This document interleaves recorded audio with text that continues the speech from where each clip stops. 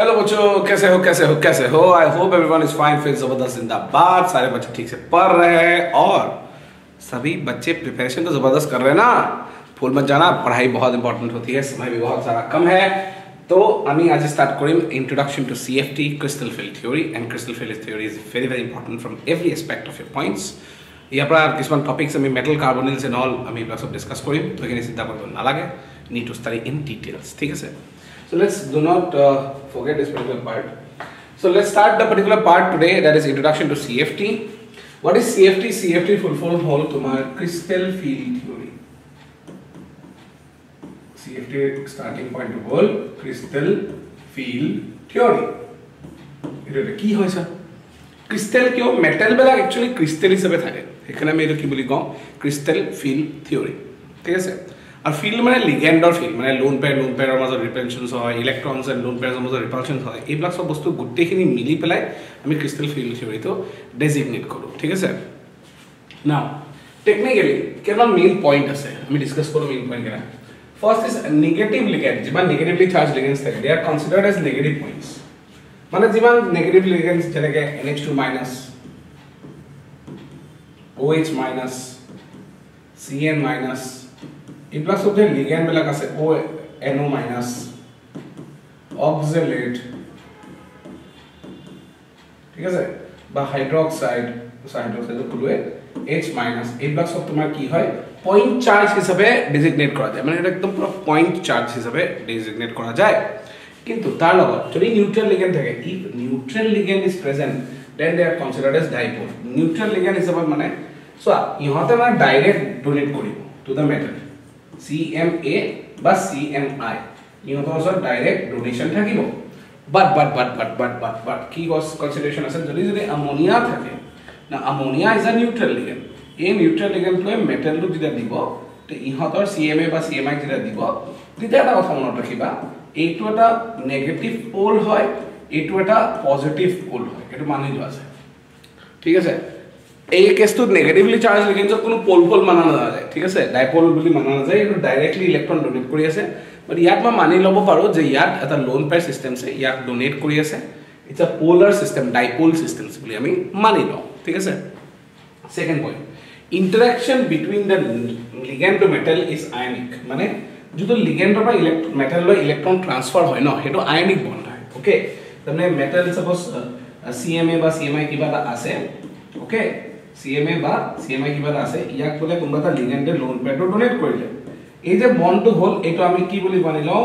Ionic bond বুলি মানি লওঁ। কি বুলি মানি লওঁ? আয়নিক বণ্ড বুলি মানি লওঁ।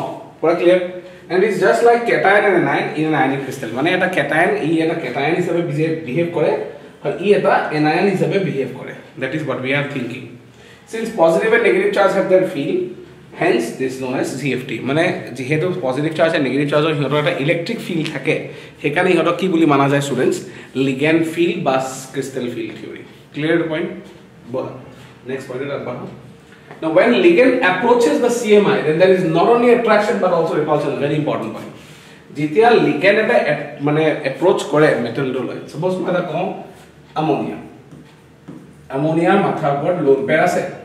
ই বোলে চেণ্ট্ৰেল মেটেল মানি লোৱা কি এফ ই টু প্লাছত ইলেক্ট্ৰন দিবলৈ মাথা মাৰি আছে।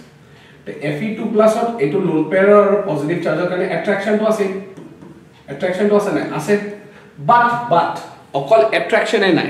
অকল এট্ৰেকশ্যনে নাই। ইয়াৰ বাদ দিও আৰু এটা বস্তু আছে। কি আছে জানানে? এই যে এমনিয়াডাল আছে এই যে এমনিয়াডাল আছে ইহঁতে খালি এট্ৰেকশ্যনে নকৰে। এফ ই টু প্লাছ যদি অলপ ডিটেইলছত খুলি চোৱা যায় that means it is nothing but D six configuration আৰু যদি ডি ছিক্স কনফিগুৰেশ্যন হয় যদি ডি ছিক্স কনফিগুৰেশ্যন হয় মানে মানে কেনেকুৱা ধৰণৰ হ'ব এনেকুৱা ধৰণৰ আছে? এক দুই তিনি চাৰি পাঁচ ছটা ইলেক্ট্ৰন আছে নাই? তো এই লোন পেয়াৰ আৰু এই মেটেলত থকা ডি ইলেক্ট্ৰনছৰ মাজত ৰিপালশ্যন হ'ব। এইটো বহুত ষ্টুডেণ্টে নাজানে।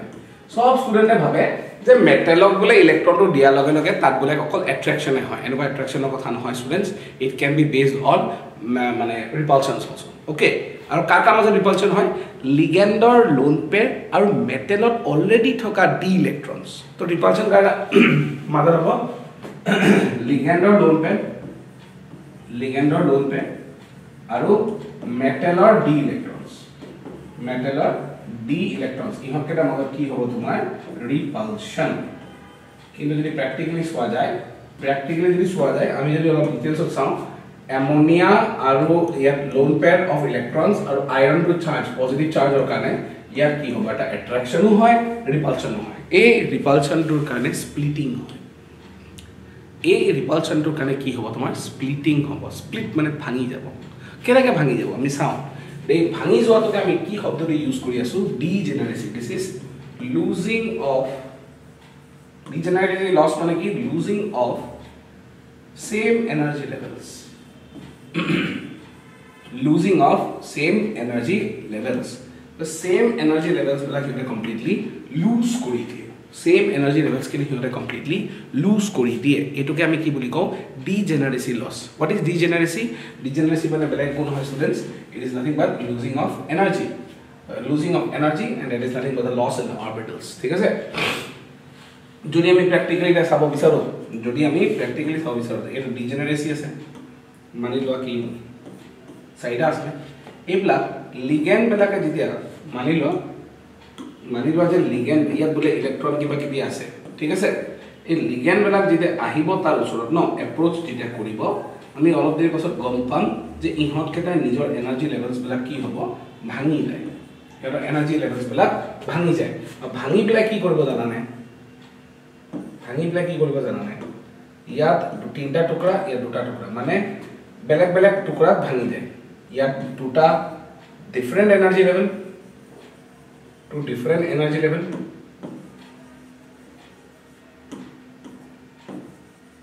are produced ঠিক আছে?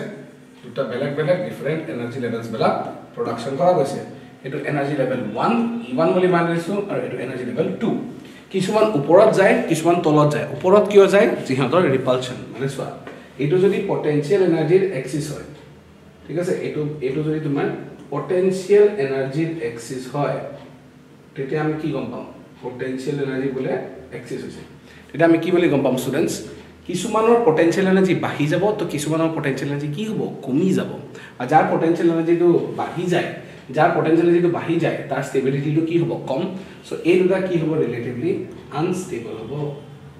এই দুটা ৰিলেটিভলি কি হ'ব? আনষ্টেবল হ'ব। কিন্তু ইহঁত তিনিটা কি হ'ব? ৰিলেটিভলি ষ্টেবল হ'ব। ঠিক আছে? এইকেইটা আনষ্টেবল হ'ব আৰু এইকেইটা ৰিলেটিভলি ষ্টেবল হ'ব। বুজি পালা? চলো নেক্সট পইণ্ট আমি ষ্টাৰ্ট কৰোঁ এতিয়া। Case one that is C F S in octa complexes octa এই অক্টা হেড্ৰেল শব্দটোৰ আমি অলৰেডি গম পাওঁ যে ইয়াত কোঅৰ্ডিনেশ্যন নাম্বাৰ ছিক্স থাকে। যিটো মেইন ফাৰ্ষ্ট পইণ্ট মই এটা কৈ দিছোঁ ইয়াতে। কোঅৰ্ডিনেশ্যন নাম্বাৰ ছিক্স মানে six donate six lone pairs of electrons six lone pairs of electrons তো ছটা lone pair of electrons donate কৰে কোনে ডোনেট কৰে লিগেনকেইটাই কেইটা ডোনেট কৰে ছটা তো এনেকুৱা যদি ছটা ডোনেট কৰে এটা মেটেলক তেতিয়াহ'লে ষ্ট্ৰাকচাৰটো কি হ'ব ষ্টুডেণ্টছ অক্টা হেড্ৰেল কমপ্লেক্স হ'ব আমি অলৰেডি ডিছকাছ কৰিছোঁ এইকেইটা আৰু the ligands are at ninety degrees to each other মানে যিকেইটা লিগেন থাকিব সেইকেইটা দেখাত কেনেকুৱা থাকিব নাইণ্টি ডিগ্ৰীজ কেনেকৈ মই দেখাই আছোঁ বাৰু এইটো যদি এটা প্লেন লওঁ এটা প্লেনটো অলপ বেলেগকৈ ধৰণৰ ট্ৰাই কৰি চাওঁ ঠিক আছে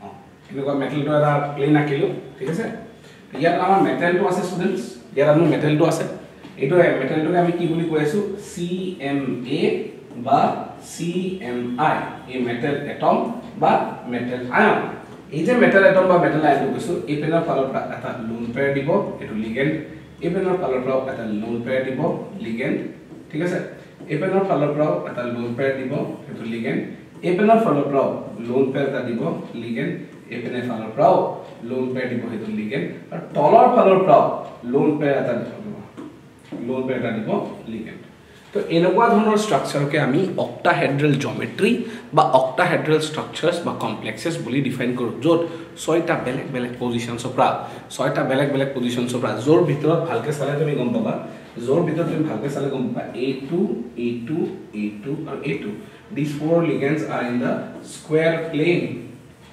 এই প্লেনখনৰ ওপৰতে স্কুৱেৰ প্লেনৰ ওপৰত সিহঁতকেইটা আছে। আৰু এইটো আছে আৰু এইটো আছে on the axis on the axis এইটো ক'ত আছে অন দি এক্সিছতে আছে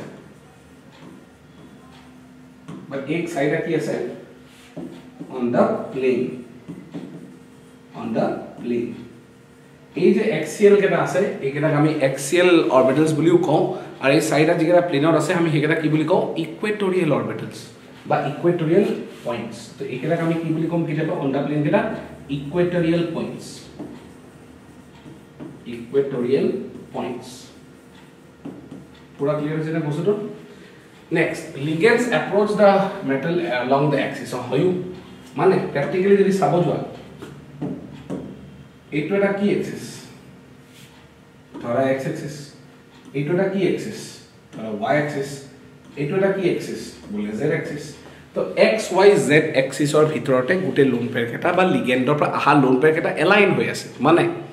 এক্স এক্সিছতে হওক ৱাই এক্সিছতে হওক জেড এক্সিছতে হওক লোন পেজকেইটা লিগেণ্ডৰ পৰা চিধা এক্সিছৰ ওপৰৰ পৰা আহি আছে।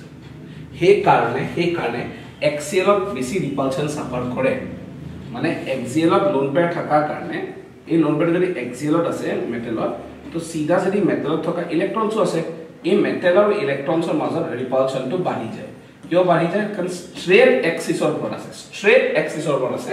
চ' মেটেলছ আৰু লিগেণ্ডৰ মাজত থকা লোন পেয়াৰ ইলেক্ট্ৰনছবিলাকৰ ৰিপালচনছ বাঢ়ি যায়। আৰু যদি ইয়াৰ ৰিপালচনছ বাঢ়ি যায় তো আমি চবেই জানো আনষ্টেবিলিটি বাঢ়ে। কি বাঢ়ে তোমালোকৰ? আনষ্টেবিলিটি বাঢ়ে। আৰু যদি আনষ্টেবিলিটি বাঢ়ে তেনেহ'লে মনত ৰাখিবা পটেঞ্চিয়েল এনাৰ্জিজ কি হ'ব? বাঢ়ি যাব। পটেঞ্চিয়েল এনাৰ্জিজ কি হ'ব? বাঢ়ি যাব। চবৰে এইটো পইণ্ট ক্লিয়াৰ নে? পূৰা ক্লিয়াৰ লিখি লোৱা ষ্টুডেণ্টছ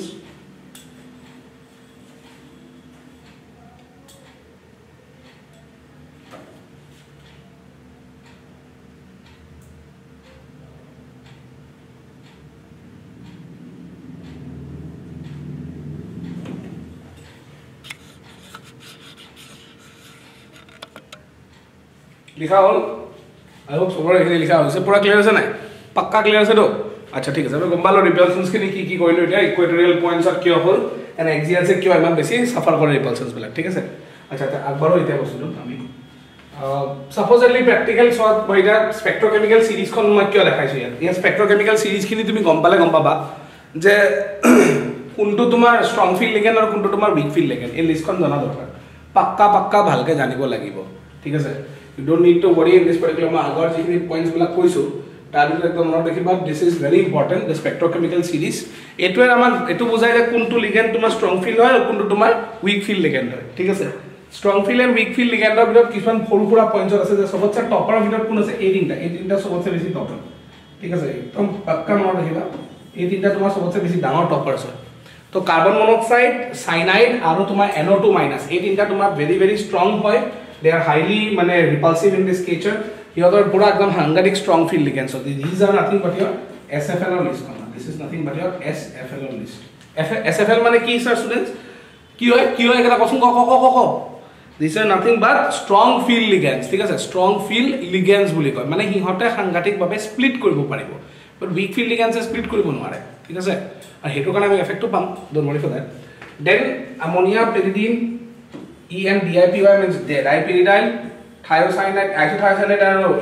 minus তেওঁলোকে মনত পৰিছে চাগে এই পাৰ্টখিনি চোৱা this is nothing but your W F L and W F এলৰ ভিতৰত চবতছে টপাৰ কোন হয়? ৱাটাৰ হয় টপাৰ ঠিক আছে? Then comes here acetate oxalate hydroxide fluoride nitrate sulphide এইবোৰ এইখিনি লাষ্টত ইয়াৰ iron this is the list ইমান মনত ৰাখিব নালাগে তুমি এইটো মোৰ মততে তুমি এইকেইটা মনত ৰাখা খালি। কিয় মই কৈছোঁ শুনা? এইকেইটা মনত ৰাখিলে কিয় হৈ যায়? কাৰণ চোৱা যদি তুমি এছ এফ এল জানা বা ডাব্লিউ এফ এল কেইটা কি হ'ব? অট'মেটিকলি তুমি বাকী চব ডাব্লিউ এফ এল হ'ব। So' please be very specific চব ক্ষেত্ৰতে জোচত উৎপাত কৰিব নালাগে। নৰ্মেলি পৰ কিছুমান বস্তু ইজি হৈ যাব ঠিক আছে? আগবাঢ়ো ষ্টুডেণ্টছ এইখিনিৰ পৰা। অ'কে নেক্সট মই তোমালোকক এতিয়া এটা ডায়গ্ৰামেটিক ভিউ দিম পটেঞ্চিয়েল এনাৰ্জি ডায়গ্ৰাম ফৰ মানে crystal field splitting in octahedral complex so' P E diagram for octahedral complex for octahedral complex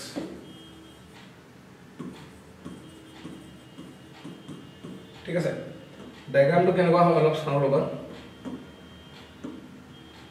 তো ডায়াগ্ৰামত আমি এই পিনে যিটো আছে we will be using your potential energy এই পিনে পাৰ্টত আমি কি ইউজ কৰিম তোমালোকৰ? পটেনশিয়েল এনাৰ্জি ঠিক আছে? এটা এক্সিছৰ ফালে কোন কি আছে ষ্টুডেণ্টছ পটেনচিয়েল এনাৰ্জি এতিয়া এটা মনত ৰাখিবা। যিমান পটেনচিয়েল এনাৰ্জি বেছি থাকিব সিমান ষ্টেবিলিটি কম থাকিব। মনত ৰাখিবা দেই এইটো বস্তু। Potential energy is always inversely proportional to stability is always inversely proportional to stability একদম don't forget this particular point clear এতিয়া আমাৰ ওচৰতো পাঁচটা পাঁচটাকৈ টুকুৰা আছে। পাঁচটা পাঁচটাকৈ টুকুৰা আছে মানে ক'বলৈ গ'লে আমাৰ কি কি আছে? ইয়াত আছে আমাৰ মেইন পইণ্ট পাঁচটা টুকুৰা আছিলে পাঁচটা টুকুৰা আঁকি দিছোঁ। কাৰেক্ট ইয়াতে তোমাৰ চাপ'জ ইলেক্ট্ৰনছ ইলেক্ট্ৰনছ কিবা আছে। তো ইয়াত পাঁচটা অৰ্বিটেলে five orbitals are degenerate in nature five orbitals are degenerate in nature degenerate in nature degenerate মানে কি হয়? সেম এনাৰ্জিত থাকে। কি এনাৰ্জিত থাকিব? সেম এনাৰ্জি লেভেলত থাকিব। তো আছেও গোটেই পাঁচটা একেলগে আছে। এতিয়া যেতিয়া ডিজেনাৰেট তুমি ৰিপ্ৰেজেণ্ট কৰিলা ন তাৰ পাছতো কিছুমান ঘটনা আহে। ঠিক আছে ইয়াত হ'ব কি? ইয়াৰ পৰা অলপ এনাৰ্জি লেভেলটো বাঢ়ি যায়। ঠিক আছে ইয়াৰ পৰা অলপ এনাৰ্জি লেভেলটো বাঢ়ি যায়। মানে যেতিয়া লিগেণ্ডছবিলাক আহে when the ligands approach যেতিয়া লিগেণ্ডবিলাক আহিব তো ইহঁতৰ এনাৰ্জি লেভেলটো অলপ বাঢ়ি যোৱা ষ্টাৰ্ট কৰিব। কাৰণ অলপ ৰিপালচনছ হ'ব। কাৰ কাৰ মাজত ৰিপালচনছ হ'ব কোৱাচোন? চব বহুতে মই বাৰে বাৰে কৈছোঁ কিন্তু এইটো বস্তু বহুতে ভুল কৰে। সদায় ভাবে কি এট্ৰেকশ্যনে হয় ইলেক্ট্ৰনৰ আৰু মেটেল ভিতৰত ন? মেটেল আয়নত থকা ডি ইলেক্ট্ৰনছ আৰু লিগেণ্ড আৰু লোন পাই ইলেক্ট্ৰনছৰ মাজত ৰিপালচন হোৱাটো খাটাং ঠিক আছে? So' with respect to that point now আমি এইটো গম পাম যে ইয়াৰ ligands approach the metal ion the C M I and repulsion starts and starts repulsion কিন্তু এতিয়াও পাঁচটা একেলগে আছে but still degeneracy is maintain এতিয়াও পাঁচটা ফাইভ আৰ ডিজেনেৰেট এতিয়াও সকলোৰে এনাৰ্জি লেভেলটো ছেম চলি আছে। ফাইভ আৰ ডিজেনেৰেট ক্লিয়াৰ এই পাঁচটা পাঁচটা ইলেক্ট্ৰন মই দি দিছোঁ তোমাৰ ঠিক আছে? এনেকৈ নিদিয়া লাগিলে। এতিয়া ইয়াৰ পাছত যেতিয়া লিগেণ্ডছবিলাক বহুত ষ্ট্ৰংলি ক্ল'জ হৈ যাব বহুত বেছি ক্ল'জ হ'ব ইয়াততো এপ্ৰ'চ কৰা বুলি কৈছোঁ ইয়াত যেতিয়া বহুত বেছি ক্ল'জ হৈ যাব ন তেতিয়া হৈ যাব ৰিপালচন ষ্টাৰ্ট তেতিয়া না সাংঘাতিকভাৱে প্ৰব্লেম হ'ব। হ'ব কি এই বস্তুটোৰ পৰা তোমাৰ এটা লেভেল ওপৰত যাব আৰু এটা লেভেল ক'ত হয় তলত যাব। ঠিক আছে এটা লেভেল ক'ত যাব? ওপৰত যাব এটা তলত যাব। যদি নগ'লেহেঁতেন যদি নগ'লেহেঁতেন সিহঁতৰ এনাৰ্জি লেভেলটো ইমান মানত থাকিলেহেঁতেন। সিহঁতৰ এনাৰ্জি লেভেলটো ইমান মানত থাকিলেহেঁতেন। ঠিক আছে? আৰু যদি নগ'লেহেঁতেন এনাৰ্জি লেভেলটো এইটো থাকিলেহেঁতেন এই এনাৰ্জি লেভেলটোক আমি কি বুলি নাম দিম? বেৰি চেণ্টাৰ বেৰি চেণ্টাৰ মানে এনেকুৱা এটা পজিশ্যন য'ত সিহঁতৰ যদি স্প্লিট নহ'লেহেঁতেন যদি ভাঙি নাযায় যেতিয়া লিগেণ্ডছবিলাকে প্ৰথম আহিব ন মেটেলৰ লগত ৰিপালচনছ কৰিব তেতিয়াও আমি কিন্তু পাঁচটা প্ৰথম প্ৰথমে ভাঙি নাযায় মহকেইটা আহিলে ৰ'বা জীৱনত। সেইকেইটাতো আৰু জানাই। অ'কে পাঁচটা যেতিয়া আহিব সিহঁতৰ ৰিপালচনছটো খাটাং কৰিবই। কিন্তু প্ৰথমতে পাঁচটা অৰ্বিটেল টুকুৰা হৈ নাযায়। তাৰপিছত কিন্তু কি হয় টুকুৰা হোৱা ষ্টাৰ্ট কৰে। আৰু টুকুৰা হোৱাৰ পাছত they will slowly break down into different টুকুৰাছ। এটা ইয়াত এনেকুৱা এটা টুকুৰা আহিব আৰু এটা ইয়াত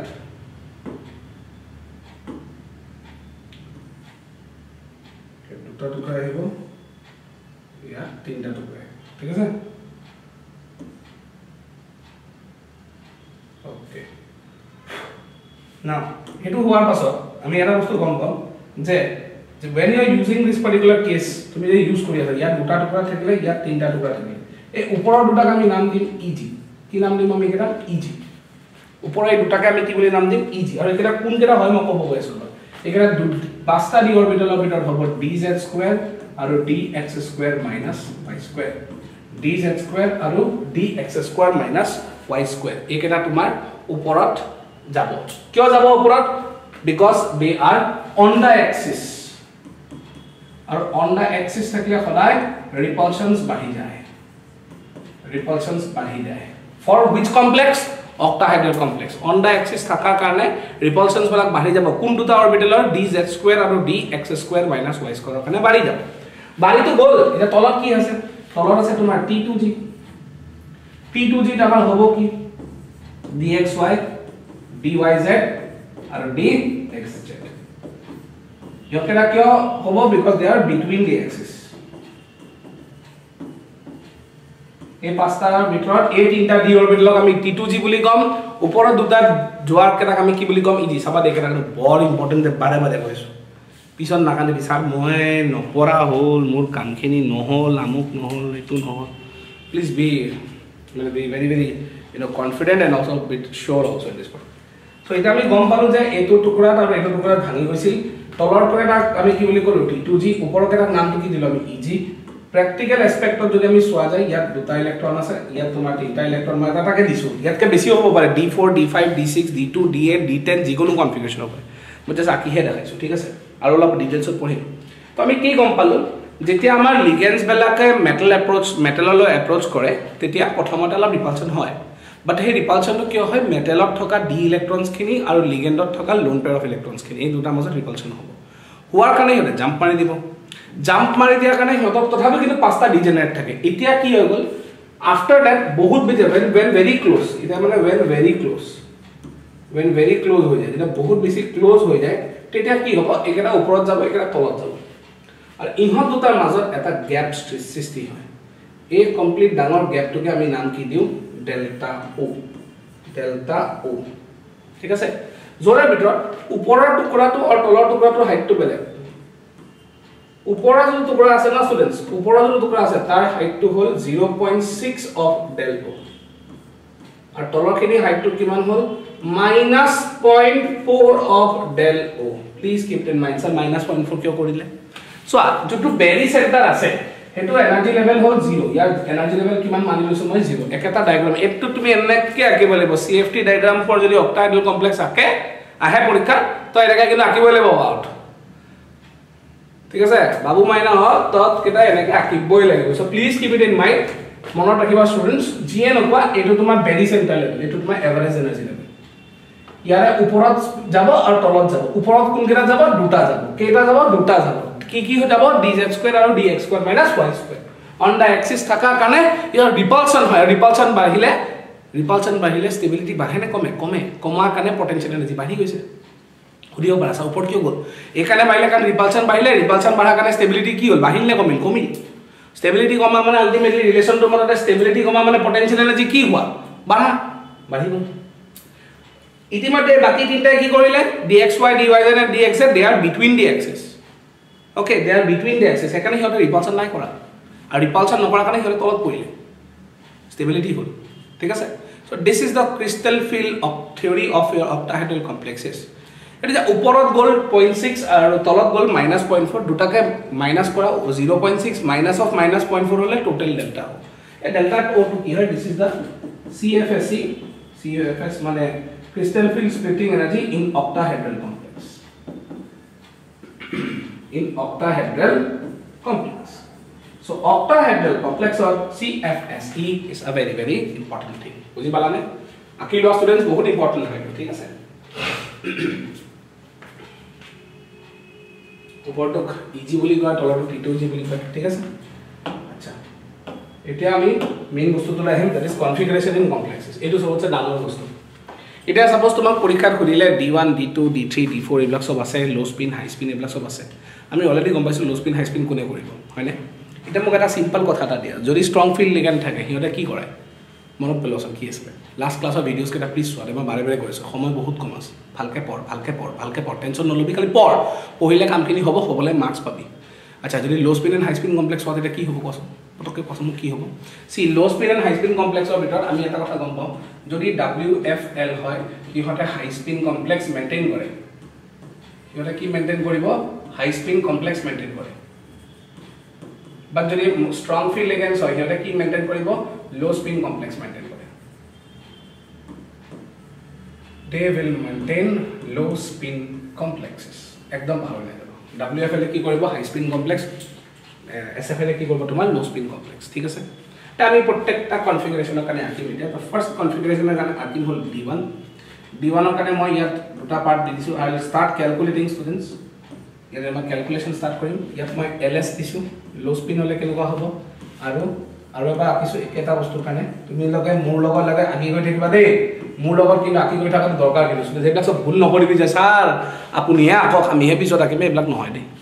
সেইবিলাক মিছা কথা হ'ব এইবিলাক যিমান যি নকয় এইবিলাক চব পাক্কাভাৱে মিছা কথা।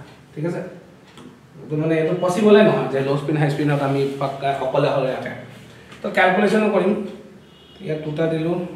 ইয়াত তিনিটা দিলোঁ ঠিক আছে ইয়াতো দুটা দিলোঁ ইয়াত ধৰা তিনিটা দিলোঁ ঠিক আছে দুটা টুকুৰা আছে ইয়াত কেইটা টুকুৰা আছে তিনিটা ইয়াতো দুটা টুকুৰা আছে ইয়াত কেইটা আছে তিনিটা প্ৰেক্টিকেলি চাবলৈ গ'লে এতিয়া ভাবিছোঁ যদি ডি ওৱান হয় ডি ওৱান মানে কেইটা ইলেক্ট্ৰনছ এটা ইলেক্ট্ৰনছ প্ৰথম কথা ওপৰৰটো বেছি এনাৰ্জি নে তলৰটো? এইটো high energy high potential energy আছে। এইটো ল' পটেঞ্চিয়েল এনাৰ্জি আছে। এতিয়া ফাৰ্ষ্ট ইয়াৰত এটা কথা পঢ়িছিলি মনত আছেনে? অফ বাউ ষ্টুডেণ্টছ অফ বাউছ প্ৰিন্সিপাল এই প্ৰিন্সিপালৰ নাম শুনিছিলে নাই A U F B A U aufbau's principle ই কি কয়? ই কি কয় মনত আছেনে? ই কয় ই কি কৈছিলে আমাক? কি বুজাইছিলে যে অব্যয় প্ৰিন্সিপাল আমাক এইটো কৈছিলে যে ইলেক্ট্ৰনছ মাষ্ট বি প্লেচড মানে ইলেক্ট্ৰনছক আমি ৰাখিব লাগে at low' energy levels first at low' energy levels first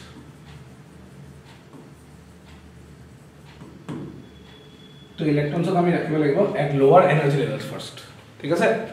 তো সেই বেচিছত যদি আমি চোৱা যায় এটা তলত দিলোঁ এইটো টি টু জি হয় ওপৰৰ কেইটা কি বুলি নাম দি আছিলোঁ বাৰে বাৰে লিখোঁতে ই জি এইটো নাম কি আছিলে টি টু জি ইয়াতো আছে তোমাৰ নাম ই জি আৰু ইয়াতো কি আছে টি টু জি আচ্ছা ইয়াত মই এটা কলম বনাই লওঁ চি এফ এ চি ভেলুটো কেলকুলেশ্যন কৰিম ঠিক আছে ইয়াতো চি এফ এ চি ভেলুটো আমি কেলকুলেশ্যন কৰিম কেলকুলেট কেনেকৈ কৰিম সেইটো দেখাই আছোঁ ঠিক আছে কেলকুলেট কেনেকৈ কৰিম আমি সেইটো দেখাই আছোঁ। তো C F A C calculation কৰিলে ইয়াত ওৱানটা আছে ইয়াতো ইলেক্ট্ৰন ওৱানটা আছে প্ৰথমটো মানে কোনো ইছ্যু নাই। একদম ক্লিয়াৰ কুললি কৰা মোৰ লগত। ঠিক আছে? একদম আৰামছে ঠাণ্ডা মগজৰে। ঠিক আছে নে এইখিনি? তো তলত এটা আছে ইলেক্ট্ৰন ইয়াতো ইলেক্ট্ৰন আছে চ' ডি ওৱানৰ কাৰণে ল' স্পিনত যদি এনেকুৱা হৈ যায় হাই স্পিনতো এটাই থাকিব। এতিয়া তলত ইলেক্ট্ৰন আছে নে নাই? তলৰ ভেলু কেইটা মনত ৰাখক ওপৰৰ ভেলুটো কি আছিলে জিৰ' পইণ্ট ছিক্স মনত আছে তলত আৰু তলত কি আছিলে ভেলুটো জিৰ' পইণ্ট ফ'ৰ আছিলে। মনত আছে? বাট তলত কি আছিলে? মাইনাছ এটা আছিলে। মন পৰিছে? কেনেকৈ কেলকুলেট কৰিবি? চা। ওৱান ইনটু ওপৰত আছে নে তলত আছে? তলত আছে। তো one into minus point four কিমান হ'ব? মাইনাছ জিৰ' পইণ্ট ফ'ৰ কালি পিছফালে কি আহিব তাত ডেল্টা ঠিক তেনেকৈ ইয়াতোত ক'ত আছে ইলেক্ট্ৰনটো ওপৰত আছে নে তলত আছে? তলত আছে। তো ইয়াতো কি আহিব? Minus zero' point four into delta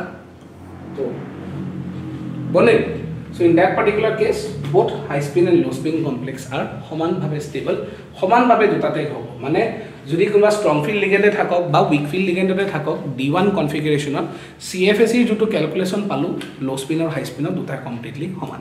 চবৰে ক্লিয়াৰ হ'ল ব'লা আৰু কেইটামান কৰি চাম তেতিয়াহে আমি অলপ ডিটেইলছ গম পাম হয়নে নহয়?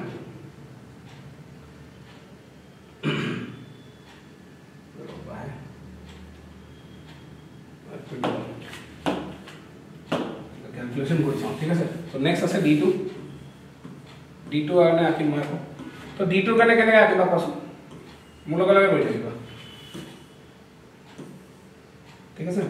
ডি টুৰ কাৰণে আমি আঁকিব লাগিব ওপৰত এটা এটা ভাঙিলোঁ ইয়াত দুটা ভাঙিলোঁ তলত তিনিটা ভাঙিলোঁ। সেইটো নৰ্মেলি ভাঙি দিলা। ন ইয়াত ডি টু মানে দুটা ইলেক্ট্ৰন লাগিলে ঠিক আছে? ইয়াৰে চি এফ এ চি আমি লৈ লৈছোঁ। মানি লোৱা এইটো মই কি লৈছোঁ? এল এছ মানে ল' স্পিন আৰু এইটো কি আছে? হাই স্পিন এতিয়াও ল' স্পিন হাই স্পিনৰ খেলাখন নাহে actually C F A C এইটো আহিলে ওৱান ওৱান ইয়াত দুটা ইলেক্ট্ৰন আছে so' two into minus point four মানে কিমান আহিব? Minus point eight of delta O' এইটোৱে মেইন বস্তু পঢ়ি আছোঁ দেই আমি এতিয়া। চবতছে মেইন বস্তু এইটোৱে পঢ়িছোঁ? Minus point eight of delta ইয়াতো দুটা আছে ইনটু মাইনাছ পইণ্ট ফ'ৰে হ'ব ডেল্টা অ' মানে minus point eight delta O' তো ইয়াৰে দুটাই কি পালোঁ আকৌ চেম পালোঁ নেক্সট আমি ডি থ্ৰীত যাওঁ ষ্টুডেণ্টছ ডি থ্ৰীত যাওঁ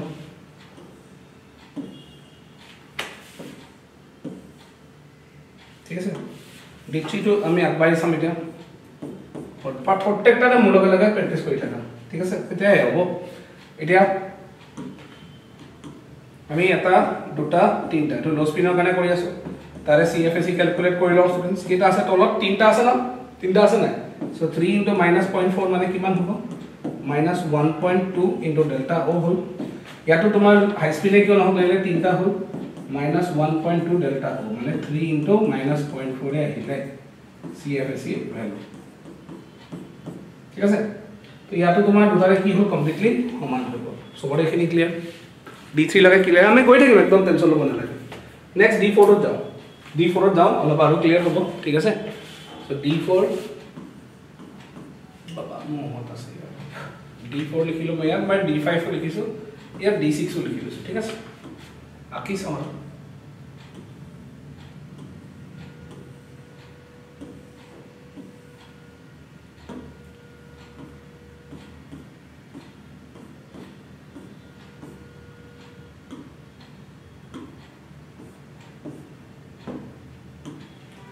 মই ইয়াৰ পৰা অকল ল' স্পিন বুলিয়ে নহয় হাই স্পিন কেইটাও আঁকি লওঁ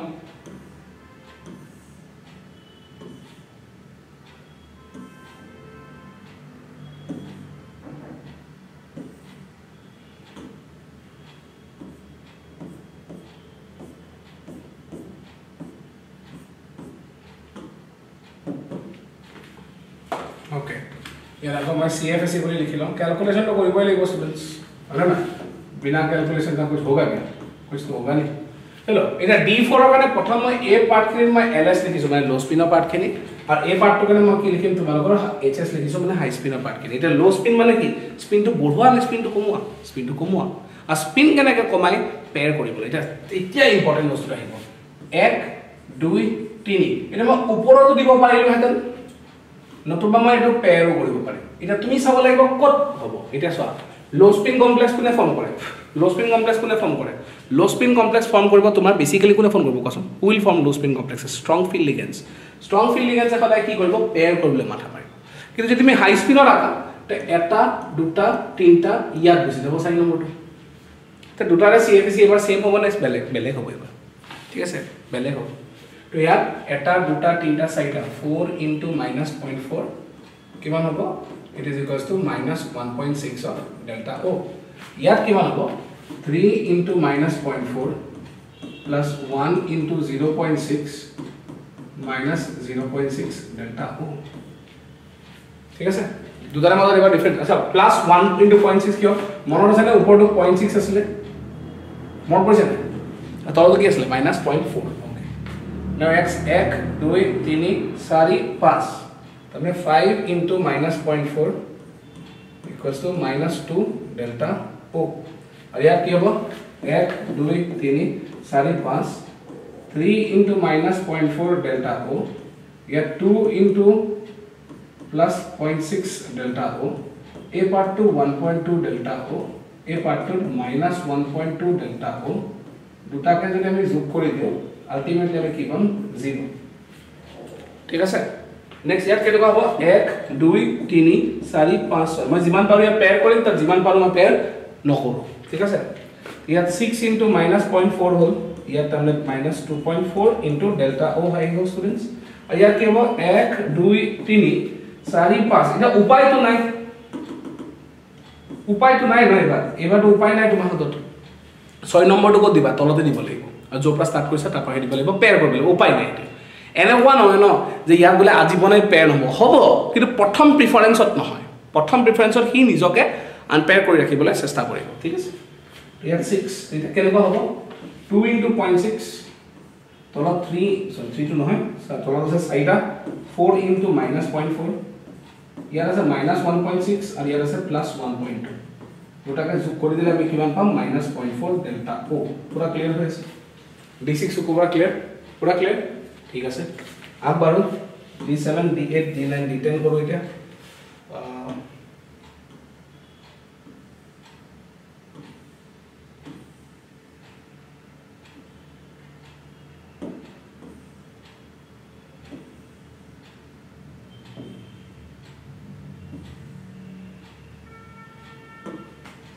কি ল'ম ক'লা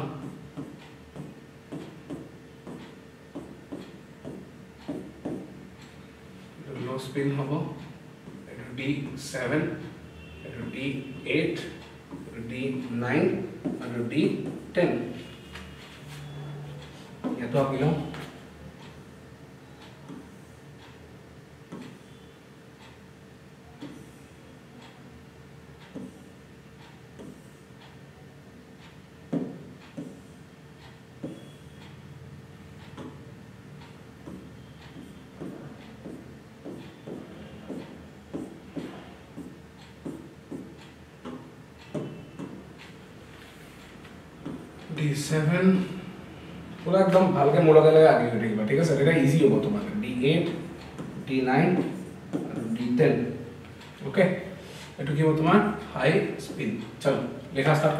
আপনাৰ বি সেভেনেৰ কি হব? এটা দুটা তিনিটা চাৰিটা পাঁচটা ছটাটো আছিলে উপায় নেদেখি ওপৰত যাব লাগিল এবাৰ ওপৰত যাব লাগিল মানে কেইটা হল এতিয়া? তলত তোমাৰ মাইনাস টু পইণ্ট ফ'ৰ হব। ওপৰত প্লাছ পইণ্ট ছিক্স হৈ যাব। মানে টোটেল কিমান হব? Minus one point eight delta O' plus point six কিয় গম পালা? One into zero' point six বুজি পাই আছনে? এক দুই তিনি চাৰি পাঁচ ছয় আৰু সাত। তলত কি আছে? মাইনাস টু ওপৰত কি আছে? ওৱান পইণ্ট টু দুটাকে যোগ কৰিলে কি পাবি? দুটাকে যোগ কৰিলে কি পাবি? Minus point eight delta O' এইটো পালা। নেক্সট ইয়াতে কি হ'ব? এক দুই তিনি চাৰি পাঁচ ছয় সাত আঠ। ইয়াত ওপৰত আছে তোমাৰ two into zero' point six six into minus point four এইটো মাইনাছ টু পইণ্ট ফ'ৰ আৰু এইটো ওৱান পইণ্ট টু দুটাকে যোগ কৰিলে আমি কিমান পাম? Minus one point two delta O'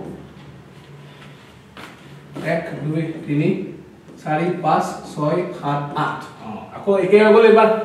এইবাৰ আকৌ একে হৈ গ'ল নাই? আগৰ T one d two d three নিচিনা সমান হৈ গ'ল। অকল তাৰমানে কি গম পালোঁ? D four d five d six d ছেভেনতহে বেলেগ।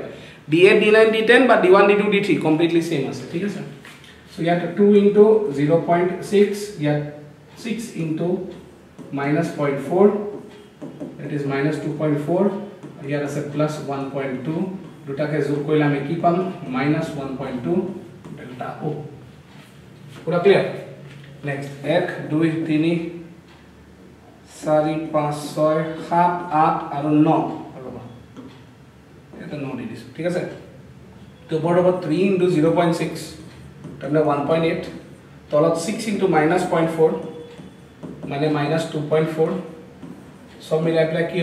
minus point six of delta হ'ব ক্লিয়াৰ নেক্সট এক দুই তিনি চাৰি পাঁচ ছয় সাত আঠ ন three into zero' point six ইয়াতো কিমান হ'ব ষ্টুডেণ্টছ ওৱান পইণ্ট এইট বুজি পাই আছনে পূৰা আকৌ six into minus point four that is minus two point four দুটাকে যোগ কৰিলে আমি কি পাম minus point six of delta is a clear সমান আকৌ আহি গ'ল লাষ্টৰটোত এক দুই তিনি চাৰি পাঁচ ছয় সাত আঠ ন দহ তাৰমানে ওপৰত four into zero' point six মানে টু পইণ্ট ফ'ৰ আৰু six into minus point four মানে মাইনাছ টু পইণ্ট ফ'ৰ দুটাকে যোগ কৰি দিলে জিৰ' আৰু ঠিক তেনেকৈ ইয়াতো একে হ'ব।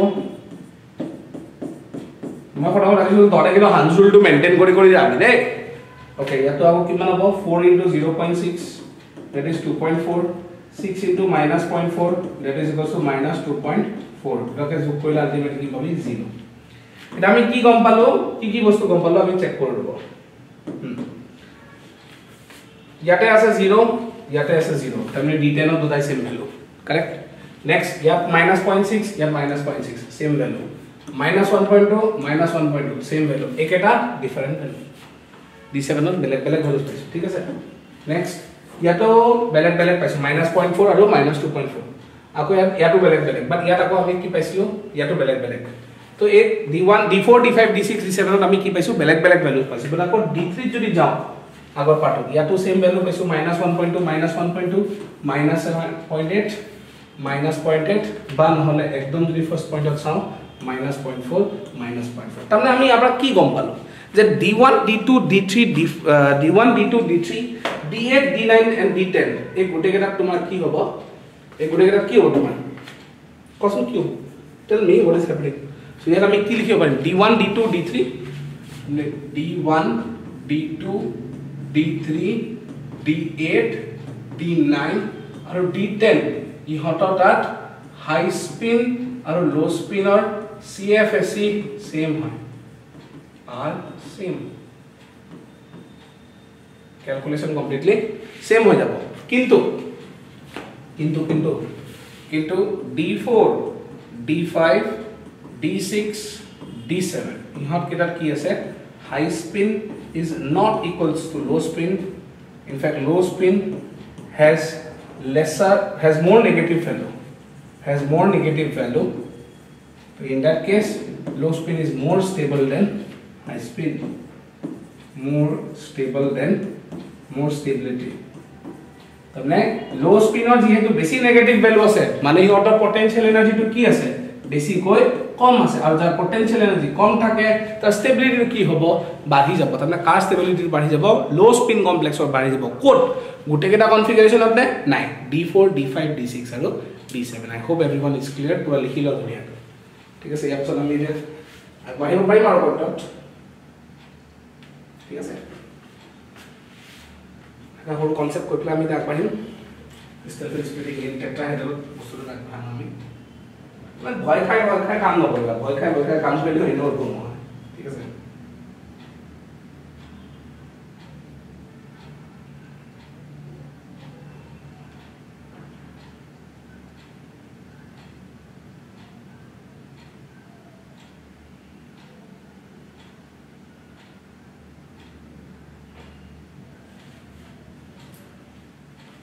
হৈছে আচ্ছা এতিয়া নেক্সট বস্তুত আগবাঢ়ো আমি এতিয়া বহুত এটা কথা সোধে কি হাই স্পীড ল' স্পীডৰ সেই খেল খেলটো কি? মেইন খেলখন শুনা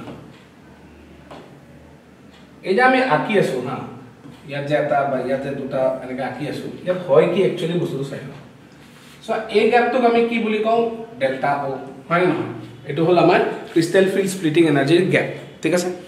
আৰু ইলেক্ট্ৰনৰ অপশ্যনটো কি? কি চাৰি নম্বৰ হা ইলেক্ট্ৰনৰ অপশ্যনটো কি? ইয়াতো সি পেয়াৰ কৰিব। হয়নে? বা নহ'লে তোমাৰ সি পেয়াৰ নকৰাকৈ কি কৰিব? ওপৰত জাম্প মাৰিব। এতিয়া মোক কোৱা যদি বেছি এনাৰ্জি জাম্প মাৰোঁতে খৰচা হয় আৰু পেয়াৰ কৰোঁতে কম খৰচা হয় তেতিয়া কোনটো প্ৰিফাৰ কৰিব? পেয়াৰ কৰিবলৈ প্ৰিফাৰ কৰিব? মানে আশা বেছি কৰিব মানে প্ৰিফাৰেঞ্চটো বেছি বা প্ৰায়ৰিটিটো কাক দিব? পেয়াৰ কৰিবলৈ নে ওপৰত যাবলৈ? পেয়াৰ কৰিবলৈ মাথা মাৰিব। তাৰমানে if delta nought is greater than pairing energy মানে পেয়াৰ কৰিবলৈ এনাৰ্জি যিখিনি লাগে দুটা ইলেক্ট্ৰনক এটা ঘৰৰ ভিতৰত দুটা ইলেক্ট্ৰনক এটা ঘৰৰ ভিতৰত থ'বলৈ সিহঁতক যথেষ্টভাৱে এনাৰ্জি লাগিব। চ' যদি পেয়াৰ কৰা এনাৰ্জিতকৈ ওপৰত জাপ মাৰিবলৈ এনাৰ্জিটো বেছি লাগে then pairing of electrons takes place then pairing of electron takes place আৰু সেইটো কেতিয়া হয়? কাৰ কাৰণে হ'ব? This is for S F মানে ষ্ট্ৰং ফিল্ড লিগেন্সৰ ক্ষেত্ৰত কি হয় পেয়াৰ কৰিবলৈ যিমান এনাৰ্জি লাগে, তাতকৈ ওপৰত যাবলৈ বেছি এনাৰ্জি লাগে। তো ওপৰত নাযাওঁ, উল্টা পেয়াৰ কৰি দিম। পেয়াৰ কৰিলে ল' স্পিন হৈ যাম, সেইকাৰণে ষ্ট্ৰং ফিল্ড লিগেণ্টে ল' স্পিন কমপ্লেক্স ফৰ্ম কৰে। For this reason strong field ligand forms lower spin complexes forms low' spin complexes clear পুৰা clear if delta not is less than pairing energy মানে এইবাৰ যদি এনেকুৱা মই কৈ দিলোঁ কথাটো যে এবাৰ বোলে পেয়াৰ কৰিবলৈ বেছি এনাৰ্জি লাগে ওপৰত যোৱাতকৈ তাৰমানে কি কৰিব? It will not pair electrons it will not pair electrons আৰু যদি ইলেক্ট্ৰন পেয়াৰ নকৰে তেতিয়া কি হ'ব? হাই স্পীড হ'বলৈ ল' স্পীড হ'ব? হাই স্পীড হ'ব। হাই স্পিন কমপ্লেক্স আৰু হাই স্পিন কমপ্লেক্স কোনে ফৰ্ম কৰিব তেতিয়া উইক ফিল্ড লিগেন্স কোনে ফৰ্ম কৰিব W F L W F L কি ফৰ্ম কৰে হাই স্পিন নে ল' স্পিন হাই স্পিন কিয় সিহঁতক পেয়াৰ কৰিবলৈ যিমান এনাৰ্জি লাগে তাতকৈ ওপৰত যাবলৈ কম এনাৰ্জি লাগে সেইকাৰণে ওপৰত গুচি যায় স্পিনটো বঢ়াই গৈ থাকিব ক্লিয়াৰ পুৰা क्लियर हो रहा है चलो लिख लो इसको पार्ट को भी लिख लो बहुत इंपॉर्टेंट चीज है बहुत ही इंपॉर्टेंट चीज है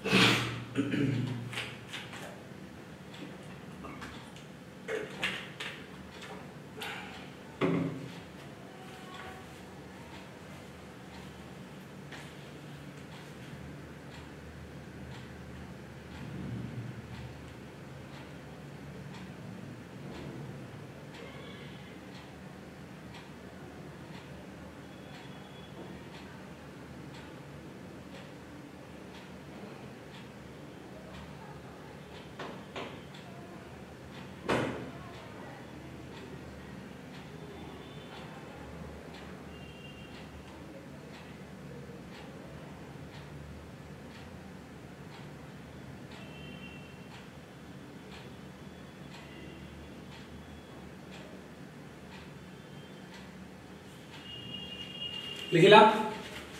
বলা এতিয়া আমি আগবাঢ়ি নেক্সট পইণ্টত that is your C F S in tetrahedral complex crystal field splitting in your tetrahedral complex সেইটো কেনেকৈ ইউজ কৰে আমি অলপ চাওঁ ঠিক আছে? Crystal field splitting in tetrahedral complex জনাৰ আগতে মই কেইটামান বস্তু কৈ দিওঁ তোমাক। তুমি যেতিয়া এপ্লিকেশ্যনছ কৰিবা নহয় ৰ'বা যেতিয়া ক্ৰিষ্টেল ফিল্ড স্প্লিটিং কৰিব আমি কেইটামান পইণ্ট লিখোঁ। ফাৰ্ষ্ট পইণ্ট ইম্পৰ্টেণ্ট কি none of the ligands approach towards the axis but only in between the axis মানে এইবাৰ অলপ আচৰিত ঘটনা এটা হয়। মেটেলটো যে আছে ন? লিগেণ্ড লিগেণ্ড লিগেণ্ড লিগেণ্ড আছে। তো ইহঁতৰ লিগেণ্ডকেইটা যোনটো পজিশ্যনত আছে ঠিক আছে লিগেণ্ডৰ যিকেইটা পজিশ্যনত আছে ইয়াত এটা লোন পেয়াৰ দিব কোৰ্ডিনেট বন ইয়াতো কোৰ্ডিনেট ইয়াতো কোৰ্ডিনেট ইয়াতো কোৰ্ডিনেট চবতো কোৰ্ডিনেট বণ্ডে দি আছে ন? দি আছে নে দি আছে নে? অ'কে তো যদি কোৰ্ডিনেট বণ্ড দি আছে যদি কোৰ্ডিনেট বণ্ড দি আছে চ' এই যে লিগেণ্ড কেইটা these are not on the axis these ligands are not on the axis not on the axis. But between the axis. But between the axis. মানে লিগেন কেটা যে আছে সেইকেইটা ক'ত আছে তহঁতৰ বিটুইন দি এক্সিছ আছে নে অন দ্য এক্সিছ আছে they are between the axis আৰু বিটুইন দ্য এক্সিছ থকাৰ কাৰণে এইবাৰ কোন কেইজনে ৰিপালচন কৰিব last time on the axis থকাৰ কাৰণে ডি জেড স্কুৱেৰ আৰু d x square minus y square repulsion কৰিছিল ওপৰত গুচি গৈছিল। কিন্তু এইবাৰ বিটুইন দি এক্সিছ থকাৰ কাৰণে বিটুইন দি এক্সিছ থকাৰ কাৰণে এইবাৰ টি টু জিৰ অৰ্বিটেলছ কেইটা মানে টি টু জি মানে ক'বলৈ গ'লে ধৰা কোনকেইটা আছিল কোৱাচোন? D x y d y z and d x z এইকেইটা নন এক্সিয়েল অৰ্বিটেলছ আছিলে হয়নে?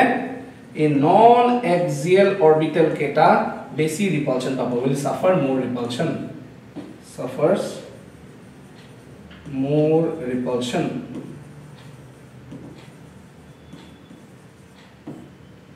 ঠিক আছে? ইট সাফার্স মোর রিপালশনস ঠিক আছে তো সবরে পাক্কা? পুরা ক্লিয়ার আছে তো?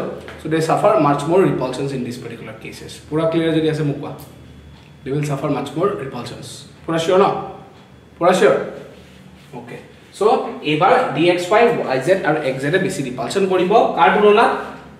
এক্সিয়েলৰ তুলনাত। মানে এবাৰ ডি জেড স্কুৱেৰ আৰু d x square minus y square they will no' no repulsion.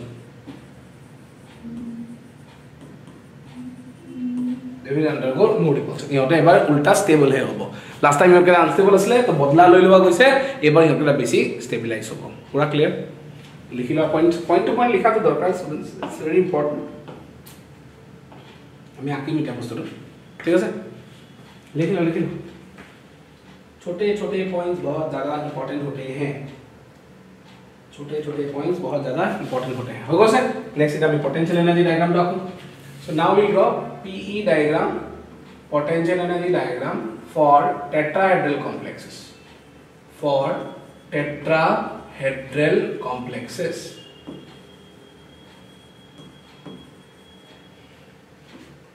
Potential energy diagram for your tetrahedral complexes. এইটো আমাৰ মেইন টপিক হৈ গ'ল এতিয়া এতিয়া আমি এতিয়া এটা এক্সিছ পইণ্টছত আঁকিব লাগিব গোটেইখিনি পইণ্টত হয়নে নহয় আমি ইপিনে এক্সিছটো আঁকি ল'লোঁ তো ইয়াৰ আহি যাব আমাৰ potential energy this is your potential energy তো প্ৰথমতে আমি কি আঁকিম? পাঁচটা বক্স নে নাই? সেই পাঁচটা বক্স আছিল ডিজেনেৰেট মনত আছেনে এতিয়া সেইকে বস্তু আঁকিম খালি অলপ এইবাৰ ভাঙা ষ্টাইলটো শ্লাইটলি বেলেগ থাকিব আমাৰ কাৰণে। বেলেগ থাকিব বেলেগ থাকিব। এইবাৰ পাঁচটা আছিলে আকৌ পাঁচটা থাকিব। এইবাৰ ওপৰত তিনিটা যাব আৰু তলত দুটা যাব।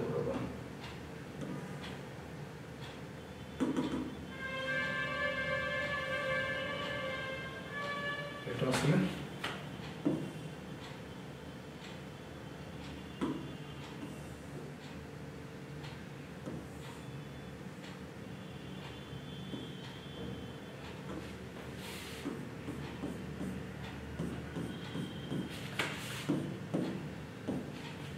অলপ পাল্টি গৈছে নাই প্ৰথমতে ইয়াত কি আছিলে ইলেক্ট্ৰনছ মানি লোৱা আছে বুলি তোমাৰ তো ইয়াত কি আছে তোমাৰ five d degenerate orbitals five d degenerate orbitals আগৰটোৰ নিচিনা একজেক্ট চেম ঠিক আছে? ইয়াত পাঁচটা ডি জেনেৰেট অৰ্বিটেল আছে। সেইকেইটাই নিজৰ এনাৰ্জি লেভেল ওপৰত লৈ গ'ল। ওপৰৰ পৰা যদি নাভাঙিলে এটা যদি নাভাঙে যদি নাভাঙে তেতিয়াহ'লে আমি সেই এনাৰ্জি লেভেলটো কি বুলি কওঁ? সেই এনাৰ্জি লেভেলটো কি বুলি কৈছিলোঁ কচোন? সেই এনাৰ্জি লেভেলটো আমি নামটো দিছিলোঁ বেৰী চেণ্টাৰ মনত আছেনে? চ' বেৰী চেণ্টাৰ কোন আছিলে ষ্টুডেণ্টছ বেৰী চেণ্টাৰ বেলেগ একো নহয় এনেকুৱা এটা বস্তু আছিলে যোনে কি কৰিছিলে? সিহঁতৰ এনাৰ্জি লেভেলটো কি আছিলে জিৰ' আছিলে অ'কে চ' এনাৰ্জি লেভেল কি আছিলে তহঁতৰ zero' energy level is zero' okay okay energy লেভেলটো zero আছিল ছাৰ এইখিনিৰ পৰা এইখিনিলৈকে আকৌ ইয়াতো স্প্লিট হৈছে বাৰু ইয়াতো স্প্লিট হৈছে গতিকে ইয়াত স্পীড হোৱাৰ পিছত ওপৰত যিকেইটা কৈছে সেইকেইটাক আমি কি বুলি ক'ম এইবাৰ টি টু লিখিম জি টু নিলিখিম কিয় জি নিলিখো তহঁতৰ কোৰ্চত নাই নহ'লে ক'লোহেঁতেন জি ৰে ডান জি ৰে এইবিলাক চব কথা আছে ঠিক আছে ক'বলৈতো সব পাৰোঁ ক'বলৈতো চব পাৰিম কিন্তু এইটো ক'বলৈ দৰকাৰ নাই চব বস্তুত চ' দিছ ইজ তিনিটা আছে ইয়াত এটা আছে তোমাৰ ডি এক্স ৱাই এইকেইটা এইবাৰ এইকেইটাই ৰিপালচন কৰিছিল নাই চোৱা মনত পেলোৱা এইবাৰ এইবাৰ কোনকেইটা ৰিপালচন কৰিছিলে এক্সেল নে নন এক্সেল নন এক্সেল কোনকেইটা এই তিনিটা এইকেইটা ৰিপালচন হোৱাৰ কাৰণে সিহঁতৰ পটেঞ্চিয়েল এনাৰ্জি কি হ'ব সিহঁতৰ পটেঞ্চিয়েল এনাৰ্জি কি হ'ব বাঢ়ি যাব হয়নে নহয় কচোন ইয়াত ইহঁতকেইটা ন ৰিপালচনৰ কাৰণে পটেঞ্চিয়েল এনাৰ্জি কি হ'ব ইহঁতৰ পটেঞ্চিয়েল এনাৰ্জি কমি যাব পাক্কা ঠিক আছে না এই তিনিটা আছে পটেঞ্চিয়েল এনাৰ্জি তোমাৰ ইয়াত কি হৈছে বাঢ়ি গৈছে ইহঁতৰ আৰু ইয়াৰ পটেঞ্চিয়েল এনাৰ্জি ইহঁত দুটাৰ কি হৈছে? কমি গৈছে বাট এইটো গেপটো আছে। So' this is minus zero' point six এইবাৰ এইকেইটা minus zero' point six delta t লিখিবা। আৰু এইটো কি হ'ব? Zero' point zero' point four delta t আৰু গোটেই ডিফাৰেঞ্চটো কি বুলি কওঁ আমি? Delta t so' this is nothing but crystal field splitting energy in কোনটো কমপ্লেক্স কোনটো কমপ্লেক্স এইটো? টেট্ৰাহেড্ৰেল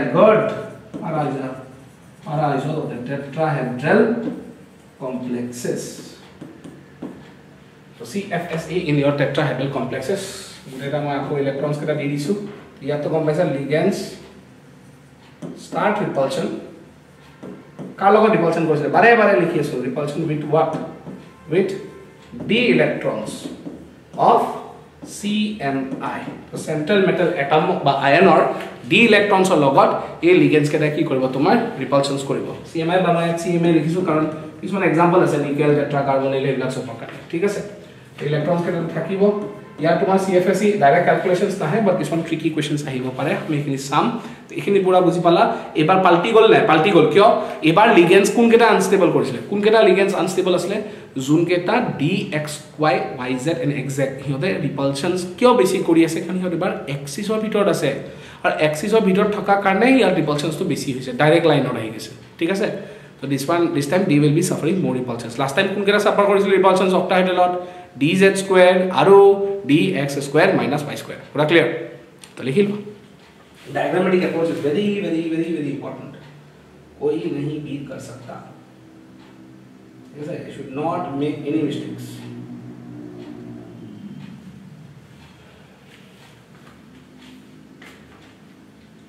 क्लियर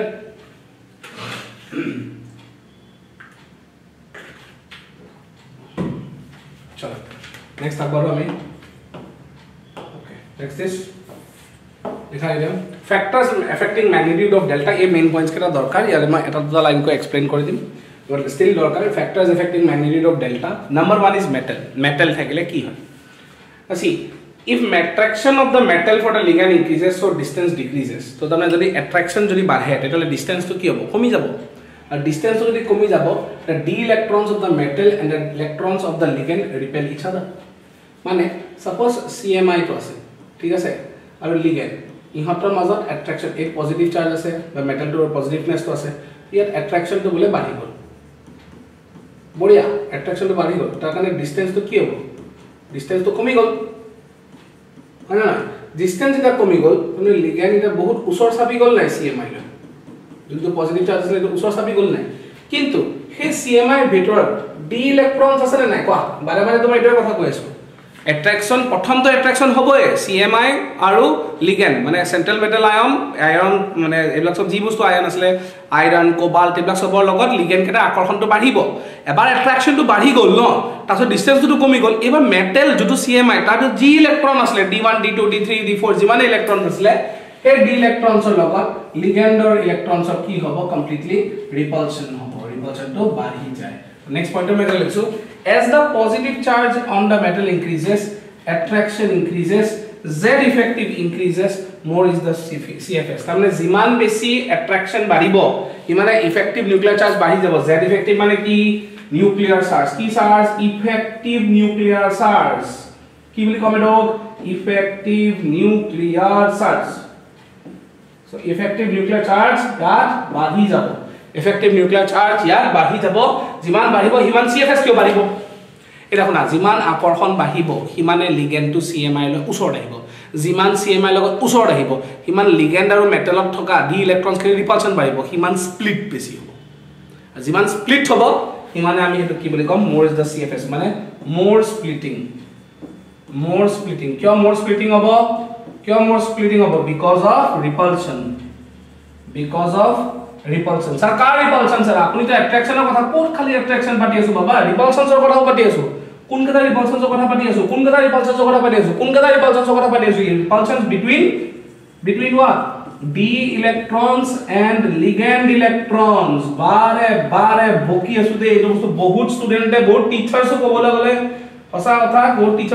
যে ডি ইলেক্ট্ৰনছ আৰু লিগেণ্ডত থকা ৰিপালচন হয়।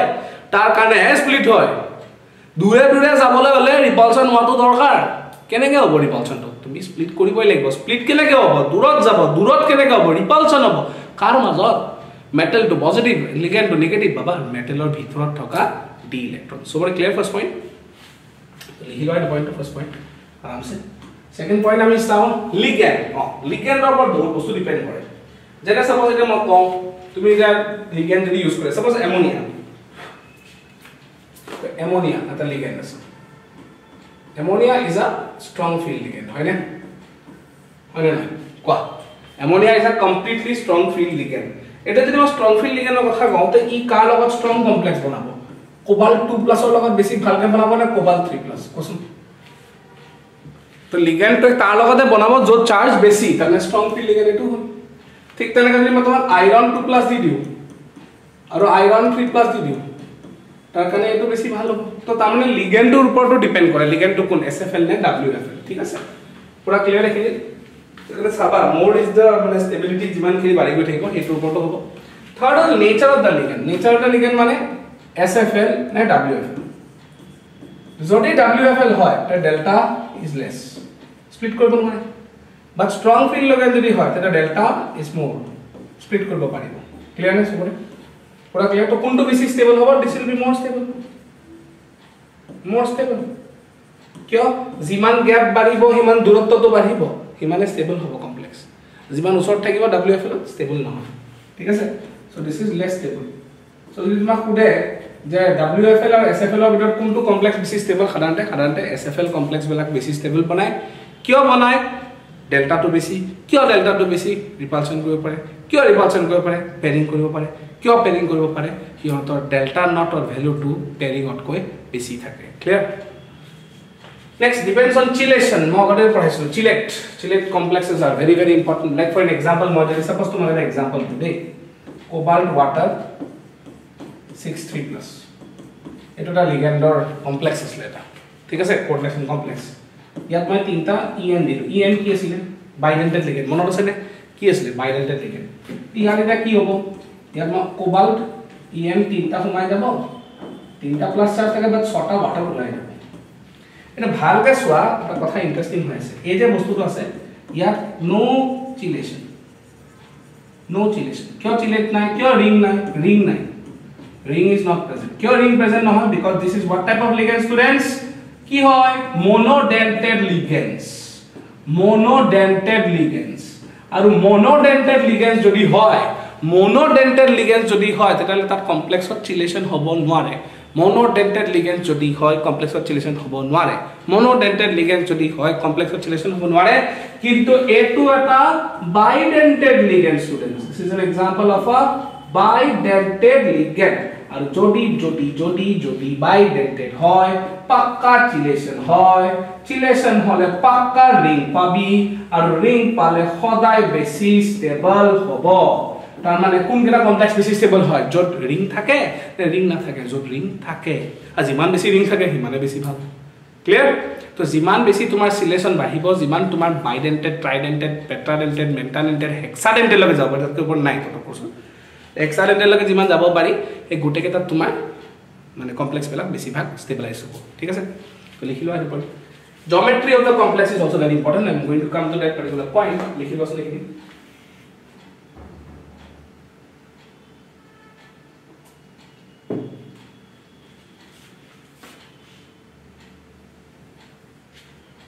জমেট্ৰি অফ দ্য কমপ্লেক্স ওপৰতো হ'ব হ'ল লিখি ল'লা অ'কে তো এতিয়া জমেট্ৰি অফ দ্য কমপ্লেক্সৰ ওপৰত তুমি এটা কাম কৰি ল'বা তাত এবাৰ টেবল টাইপ লিষ্ট এখন বনাম আমি। এতিয়া ইয়াত এটা অক্টাহাইড্ৰেট লিখি ল'ম ষ্টুডেণ্টছ আৰু ইয়াত কি লিখিম ষ্টুডেণ্টছ টেট্ৰাহাইড্ৰেল ঠিক আছে ইয়াত কি লিখিম মই? স্কুৱাৰ প্লেনাৰ যদিও স্কুৱাৰ প্লেনাৰ পঢ়া নাই তথাপি মই কৈ দিছোঁ আৰু একেলগে কোনোবাই যদি এণ্ট্ৰেঞ্চ দিব বিচাৰোঁ তো স্কুৱাৰ প্লেনাৰটো দৰকাৰ হ'ব। ঠিক আছে ষ্টুডেণ্টছ ইয়াত মই হৈ গ'ল। ইয়াত মই লিখিম এতিয়া লিগেঞ্চ নাম্বাৰ অফ লিগেঞ্চ অঁ এইটো ভাল হ'ব। নাম্বাৰ অফ লিগেঞ্চ লিখা। ঠিক আছে?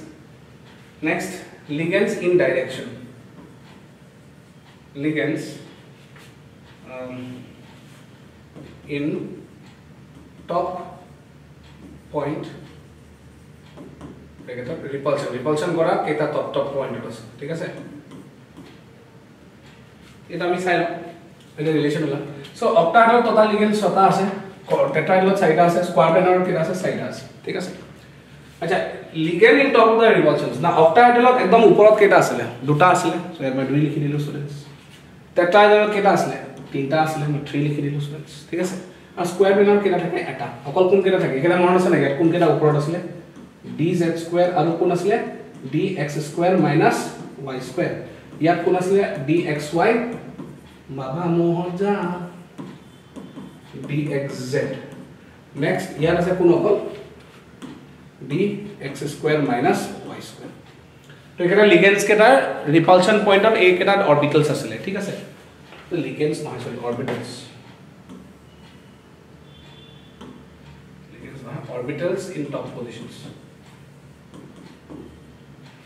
ঠিক আছে? এতিয়া তোমাক যদি পৰীক্ষাত সোধে what is the relation between delta T and delta আমাৰ N C R T text বুকত লিখা আছে এইবিলাকে কুৱেশ্যন উঠাই দিব চাবি দেই।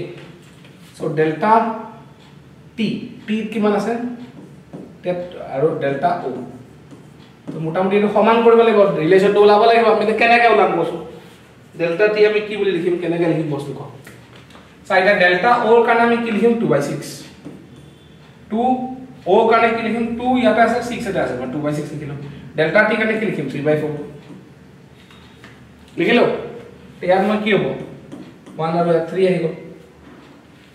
বুজি পাইছেনে? পুৰা বুজি পাইছ? চ' ইয়াত কি হ'ব? Delta T will be almost equals to four by nine of delta O perfect বুকত এক্সাম্পল আছে ষ্টুডেণ্টছ ভালকৈ এক্সাম্পল খুব চাবি এইবিলাকে আহিব এতিয়া যদি মই পৰীক্ষাত সোধোঁ এইটো নহয় মোক বোলে প্লেনৰ আৰু টেট্ৰাহাইড্ৰেলৰ ৰিলেশ্যন লাগে কেনেকৈ কৰিম তো মই ইয়াত ডেল্টা টি লিখি ল'লোঁ almost equals to delta square planar S P S P মানে স্কোৱাৰ প্লেনাৰ তো ইয়াত কি হ'ব ওৱান বাই ফ'ৰ হ'ব আৰু ইয়াত কি হ'ব থ্ৰী বাই ফ'ৰ হ'ব delta S P it will be almost equals to 3 times of delta t. ठीक है सर? पूरा क्लियर लिख लो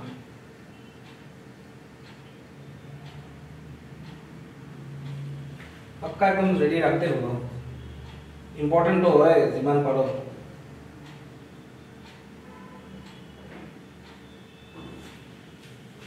ठीक है सर? अच्छा next next is application of C F T तो इंपॉर्टेंट है।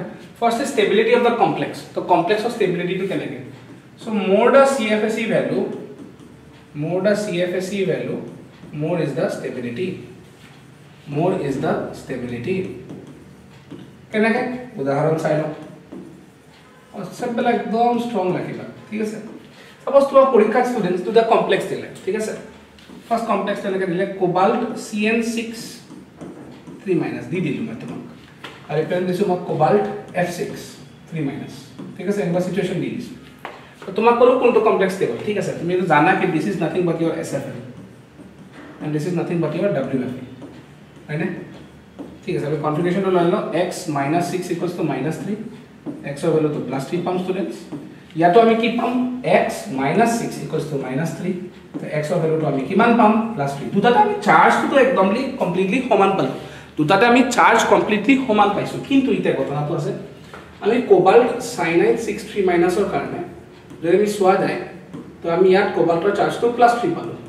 প্লাছ থ্ৰী মানে কি হ'ব ইয়াত? থ্ৰী ডি ছিক্স কনফিগাৰেশ্যন কাৰণ থ্ৰী ডি ছেভেন ফ'ৰ এছটো থাকে ন চোৱা ভালকৈ অলপ মনত পৰিলেও যদি কনফিউজ লাগিছে মই ডাইৰেক্টলি লাহে লাহে কৰি দেখাইছোঁ। কোবাল্টৰ কনফিগাৰেশ্যন হ'ল R one three D seven and four S two হয়নে নহয়? কনফিগাৰেশ্যন নজনাকৈ হাত নিদিবি দেই চাবি। চ' কোবাল্ট প্লাছ থ্ৰী হ'ল। এইটো কি হ'ব? আৰ ওৱান হ'ব? তাৰপিছত কি হ'ব ইয়াত? থ্ৰী ডি ছিক্স হ'ব। এতিয়া থ্ৰী ডি ছিক্স মানে আকৌ এইটো কি কমপ্লেক্স হয়? Strong field ligand no weak field ligand this is what এইটো কি হয়? এইটো strong field ligand strong field লিগেণ্ডৰ কাৰণে কি হ'ব? কনফিগাৰেশ্যন লিখিম আমি। ডি ছিক্স মনত আছেনে? ডি ছিক্স মনত আছেনে কোৱাচোন ডি ছিক্সত কি কি আছিলে? গোটেইকেইটা তলতে আছিলে। অলপ মনত পেলা ল'ৰা মনত আছে? তাৰমানে এইবাৰ কি হ'ব? এটা দুটা চৰি চৰি চৰি চৰি এটা দুটা তিনিটা চাৰিটা পাঁচটা ছটা। ইয়াৰে চি এফ এ চি ভেলুটো কিমান আছিলে? কিমান পাবি? Minus two point four delta মনত আছেনে আজি অলপ দেৰি আগতে কেলকুলেট কৰিছিলোঁ? অলপ দেৰি আগতে কেলকুলেট কৰিছিলোঁ মনত আছে? তো এইটো কোবাল চাইনাইট ছিক্স থ্ৰী মাইনাছৰ কাৰণে কিমান পালা তুমি? Minus two point four delta হ'ব। আচ্ছা এইটো যদি শুদ্ধ হয় তেনেহ'লে আমি গম পালোঁ কি কোবাল চাইনাইট ছিক্স চাইনাইট থ্ৰী মাইনাছৰ কাৰণে। আমি কনফিগাৰেশ্যনটো কি পালোঁ? টি টু জি য'ত আছিলে তাত ছটা আছে আৰু ই জিত কিমান আছে? জিৰ' আৰু তাৰে কন চি এফ এ চিৰ ভেলুটো কিমান আছিলে students minus two point four delta এইটো আমি পালোঁ। এতিয়া আমাক নেক্সট বস্তুটো লাগে। That is cobalt F six three minus ইয়াৰ কাৰণে কি হ'ব? ইয়াতো আমি কি পাইছোঁ? কোবাল্ট থ্ৰী প্লাছে পাম। মানে আল্টিমেটলি তহঁতে কি পাবি কচোন? ইয়াত থ্ৰী ডি ছিক্সে নাপাবি জানো? থ্ৰী ডি ছিক্সেতো পাবি? তো যদি থ্ৰী ডি ছিক্স পাওঁ মই ইয়াৰ কাৰণেও কৰি চাওঁ এক দুই তিনি চাৰি পাঁচ ছয় হাই স্পীড ন এক দুই কেনেকৈ গম পালে হাই স্পীড ছাৰ এইটো কি লিগেণ্ড হয় W F L W F L সদায় কি বনায়? হাই স্পীড কমপ্লেক্স বনায়।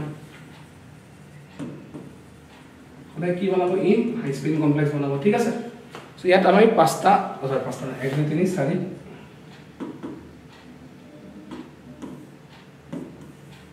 ভালকৈ আঁকি দিওঁ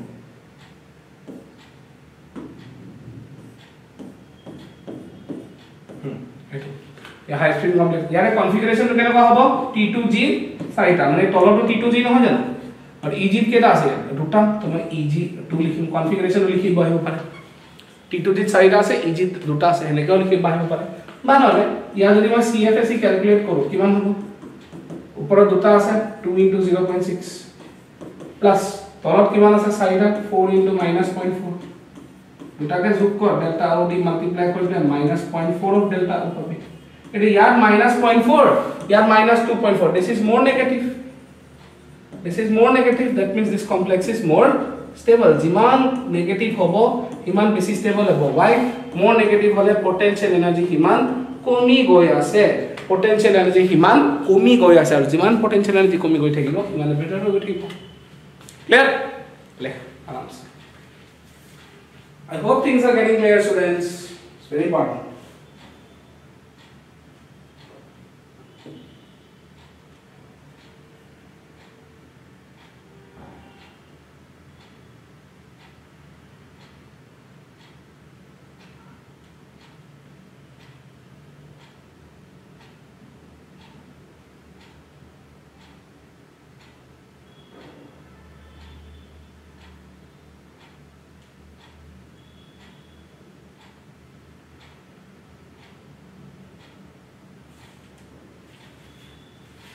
Is it?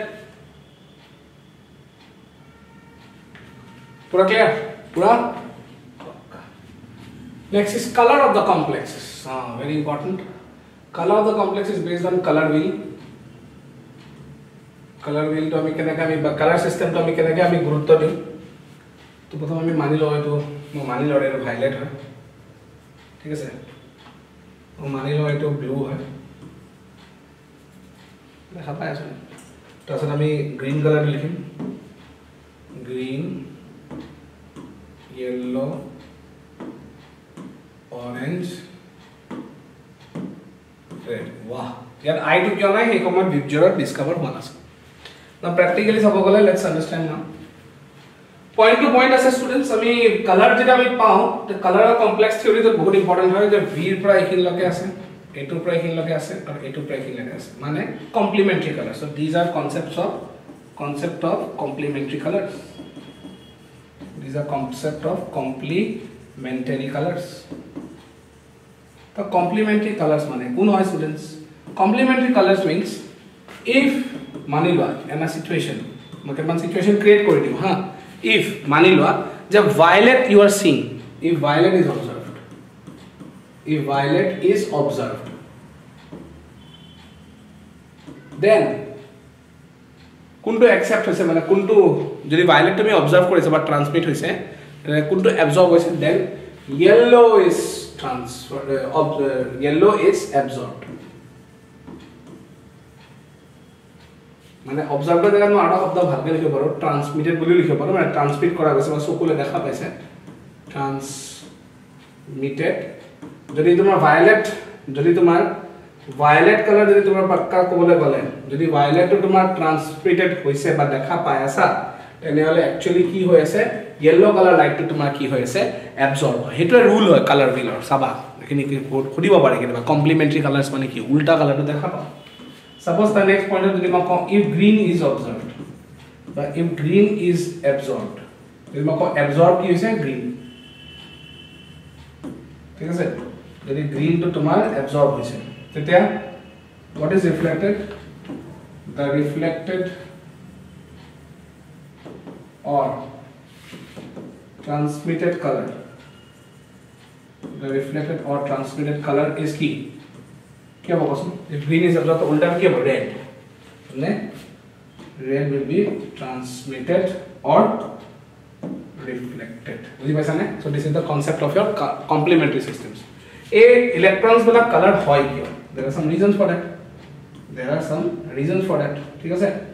Why? Because reason क्यों एक colored होय? एक colored होने specific reason है It is it is called as D to D transitions. ठीक है It is called as what? D to D transitions. So please लिखिए लो students.